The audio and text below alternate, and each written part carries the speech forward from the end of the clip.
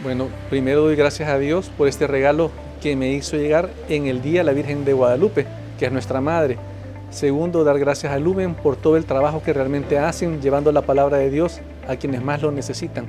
Y muchas veces pues, nos beneficia a aquellos que por temas de salud, de trabajo o diferentes dificultades no podemos ir a la iglesia y por medio de Lumen recibimos la palabra de Dios. Así que muchas gracias, sigan adelante y que Dios les bendiga.